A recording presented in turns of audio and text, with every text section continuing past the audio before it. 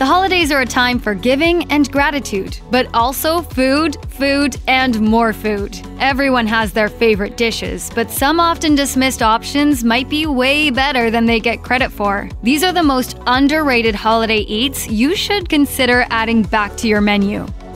It seems like green bean casserole has been around forever, but it's really only been a thing since about 1955. That's when Campbell's employee Dorcas Reilly invented the holiday staple that, according to the company, makes an appearance on almost 30 million tables each year. I brought the green bean casserole.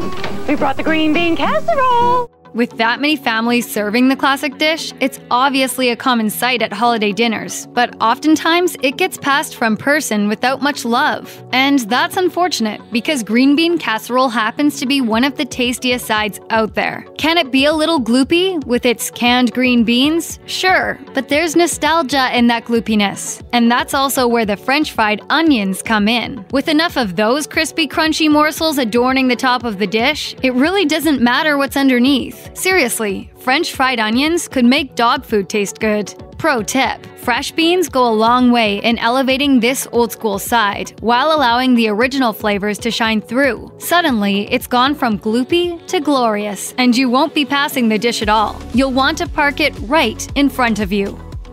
Some classic fruity jello has always been a delightful treat, but we used to use it to make some pretty weird things. These dishes are what nightmares are made of, and have made us all repulsed by the thought of a jello salad gracing our holiday tables. But it's time to rethink that stance. Today, jello salads are a dish to be celebrated, stuffed only with fruit and not a spoonful of mayo in sight. They happen to be a perfect holiday dish. Not only are they a light and refreshing palate cleanser among a sea of heavy, rich foods. They're also an almost dessert before the real dessert is served. And who doesn't want two desserts?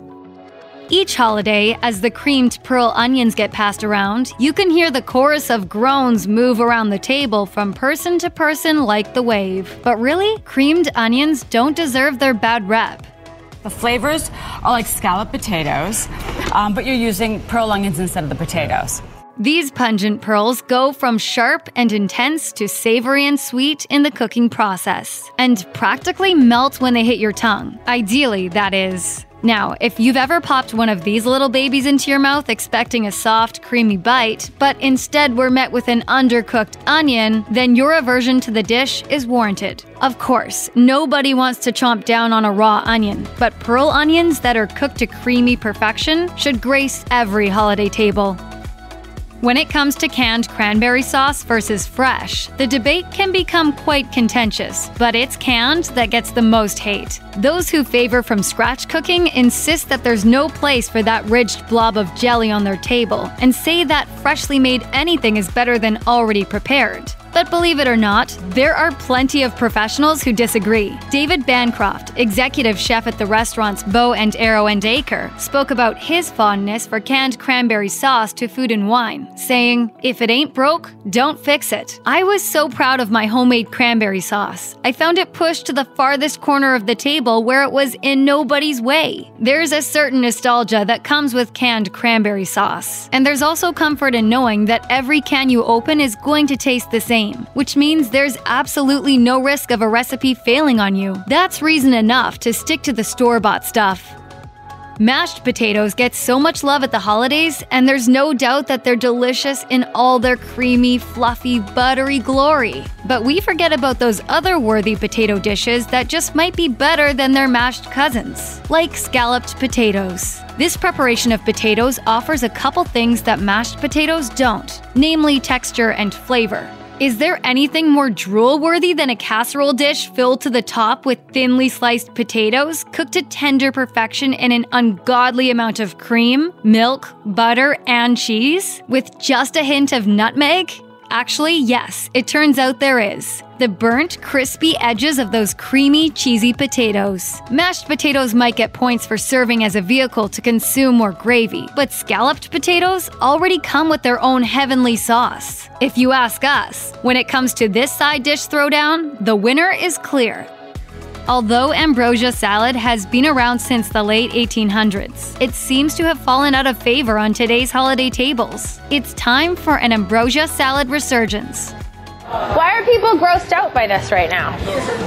It is not gross, Matt. Typically made with mandarin oranges, canned pineapple, maraschino cherries, coconut, pecans, whipped topping, and mini marshmallows, it might sound a bit overwhelming, but all these components come together to form a light and fluffy salad that's unlike anything else we serve at our holiday dinners. Is it a side dish? Is it dessert? Ambrosia salad can be whatever you want it to be. That's part of its charm. The holidays can be a stressful time in general, but nothing is quite as stressful as cooking a big holiday dinner. That's why this holiday season, it's time to abort your mission at becoming the next Martha Stewart and grab a few boxes of good old Stove Top stuffing. Don't scoff. Stove Top has a lot going for it. First, it requires only water and butter, something you can't say about homemade stuffing. Second, it only takes 5 minutes to make. This frees up your time to focus on the rest of the dinner, or, you know, drink a few glasses of wine. Finally, it just tastes good. Homemade stuffing is one of those holiday dinner risks. It might come out soggy, it might come out dry, it might come out flavorless. But with Stove Top, you know what you're getting every time that delicious savory flavor you remember from your childhood.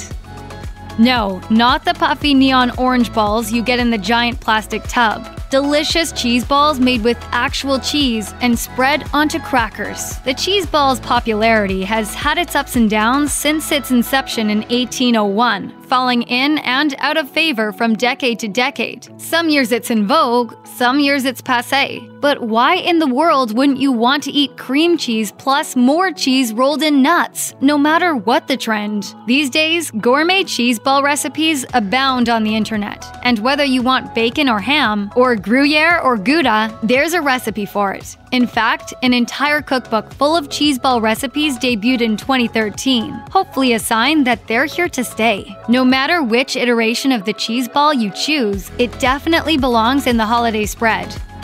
There's really no in between when it comes to this holiday drink. You either love it or hate it. But those who choose not to partake are missing out. It's time to give this once a year classic another try. It's nice to see you enjoying a holiday beverage. Pretty Christmassy.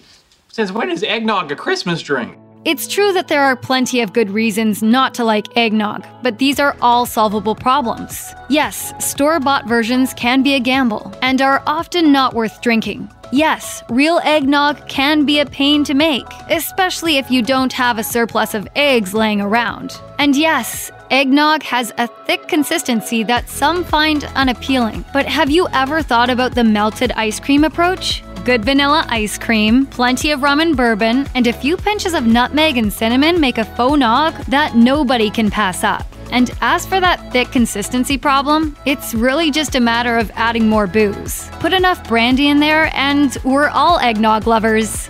Check out one of our newest videos right here. Plus, even more mashed videos about your favorite holiday foods are coming soon. Subscribe to our YouTube channel and hit the bell so you don't miss a single one.